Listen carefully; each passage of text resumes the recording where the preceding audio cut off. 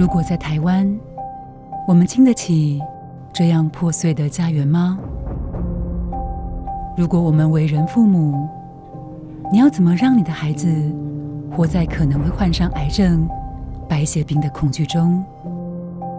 但最可怕的，其实是这些辐射并没有形状，没有气味，也不会发出任何声音。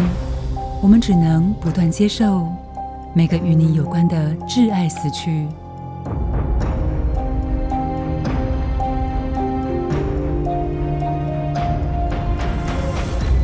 二零一一年的三月十一日，福岛核灾事故，那时候台湾涌入了大量的捐款帮助日本，不知道大家是否还记忆犹新？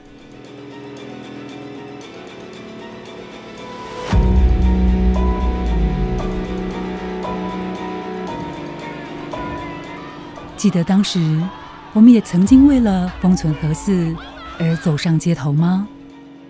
如果这场巨大的灾难发生在台湾呢？我们能承受这难以想象的巨变吗？而人民们的呐喊，求的只是一个真相、跟安全的家。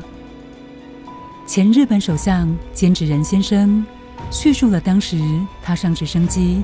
看到福岛被核灾侵袭后的景象，那是多么的令人揪心与残酷。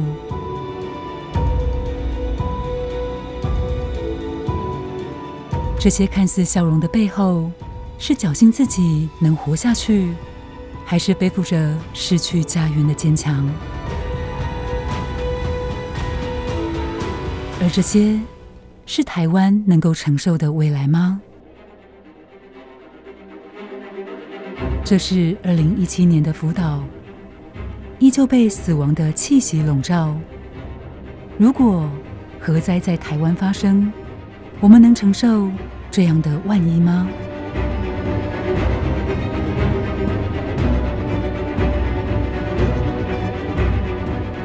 核四不该被重启，台湾更不该成为下个福岛。